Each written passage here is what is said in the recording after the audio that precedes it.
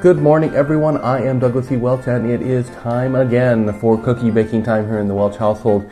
We do a big party every year uh, where I cook a bunch of cookies and invite friends in for an open house. And these are the supplies to get us started today. I'm sure we'll run out of something. We almost always do.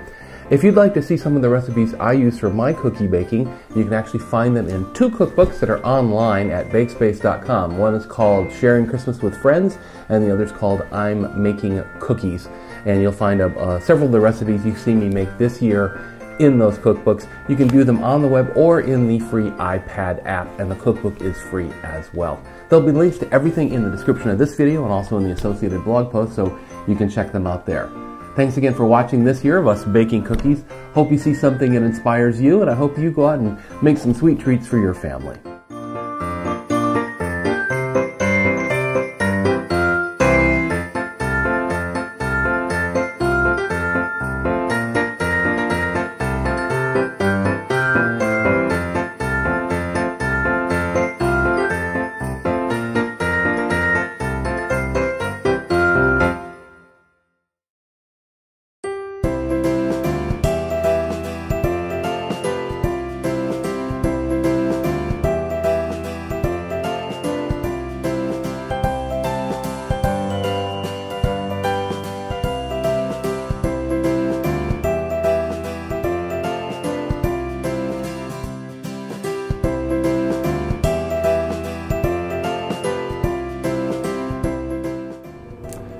Okay, so one of the tricks of the trade that I always like to share with people is this little devil here. This uh, we actually got, I don't know, got a garage sale or something, I don't know, maybe it's a giveaway even. This is a measuring cup for sticky and uh, oily and otherwise un easily usable contents for lack of a better word. This is peanut butter for the peanut butter cookies. The great thing is, is you pull the plunger down to the measurement you want.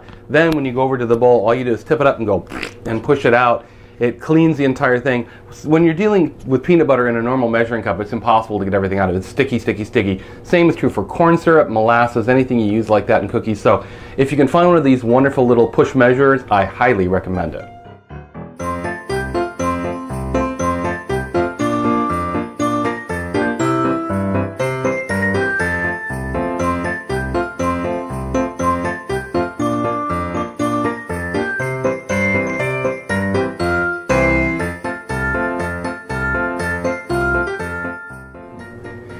Number two in cookie making is make your own vanilla extract.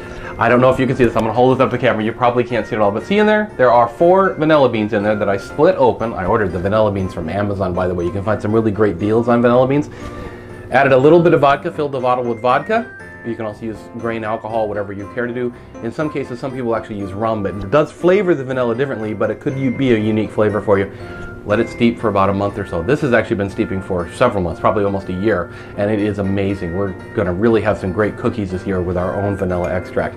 You'll find uh, a post on me making this vanilla extract on the blog. I'll put a link in the description and on the blog post for this video.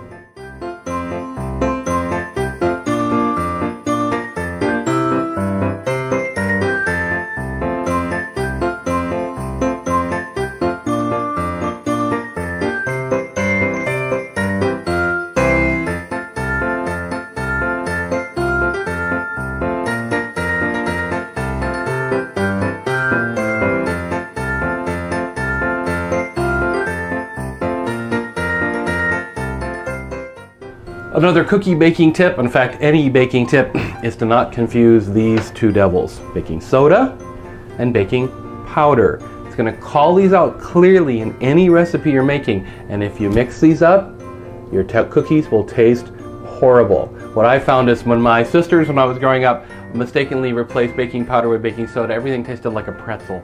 Uh, not a good thing for a cake that you're trying to eat for your birthday, that's for sure. So again, make sure you're very carefully watch for the difference between baking soda and baking powder. There's a lot of science that goes into this, a lot of chemistry. It's basically uh, has to do with how much acid is in your baking recipe to make sure it leavens properly, make sure it rises properly, and that's why you'll sometimes use one, the other, or sometimes in combination like a recipe we just did. Also, for baking powder specifically, check your expiration date. It'll always be stamped uh, you know, basically this is best if used by December 14, uh, 2014, so I have a year on this. Um, if it is old, it won't be reactive. It won't cause the reaction you're looking for. You won't get the rising. You will get flat baked items rather than nice puffy baked items. So again, pay attention to your recipes. Soda, powder.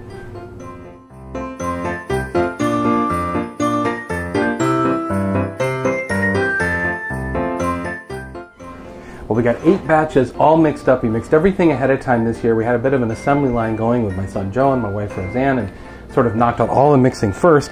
Uh, covered everything in saran wrap, put it in the um, in the fridge to wait for us, and we've got the chocolate chip batch is already done. And now I'm making what we call pecan puffs. They're from the Joy of Cooking.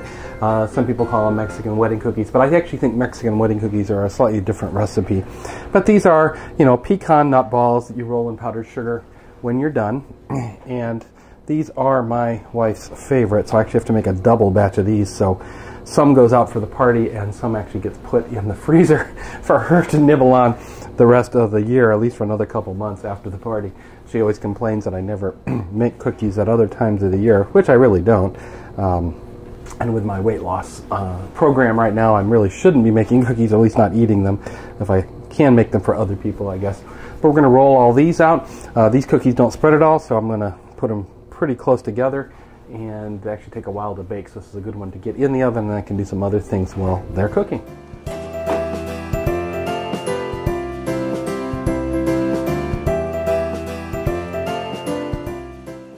So I hope you've enjoyed our cookie baking adventures for 2013. This is an annual thing for us. We have this party every year and have had it for I think the last I want to say 16 or 17 years. I'd have to check my my notes, uh, which I do have from previous years. It's very fun to look back and see what I've made in the past.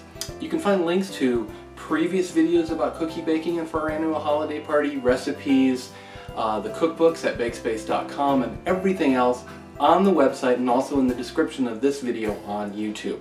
For the website, please visit douglasewelch.com. If you scroll to the bottom, you actually see direct links to the cookbook, as well as everything else that I do, including a gardener's notebook, career opportunities, technology IQ, careers in new media, and more. Cookie baking is just one small part of my life at this part of time of year, so thanks for joining us and hope to see you on the website soon. Have the happiest of holidays, the merriest of Christmases, the best Kwanzaa, the happiest of Hanukkah, whichever holiday you might be celebrating at this time of year. Until next time, keep baking.